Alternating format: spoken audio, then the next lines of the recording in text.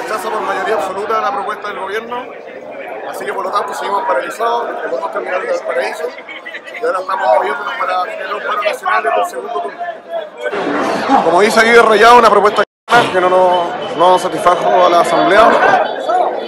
Eh, se rechaza, son puros préstamos que hace una empresa, que al final nos hacemos cargo nosotros. Hay un bono, o sea que en verdad es una compensación laboral por un curso de capacitación laboral. Los otros puntos relacionados con las condiciones de trabajo, en las listas negras, estas cuestiones en función de lo que ocurre acá.